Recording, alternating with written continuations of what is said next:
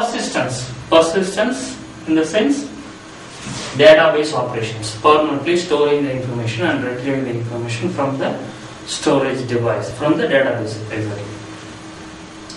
Again, bean managed persistence. Bean managed persistence is nothing but your bean program. Your bean program manages the database operations. Manages in the sense your bean, you are writing SQL query or queries to fetch the data from the database, to insert the data into the database, or you are doing any operation in your bean by using your own query, then we can say that is a bean managed persistence.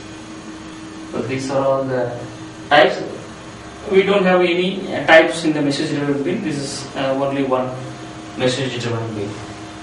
Be clear that the create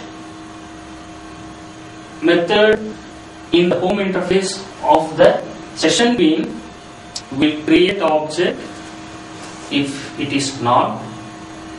If already the object is available then it will pass the reference of that object. The same way but here in the entity bean if you are using the create method if you are invoking the create method available in the home interface of entity bean, what happens? It will insert a row in the database.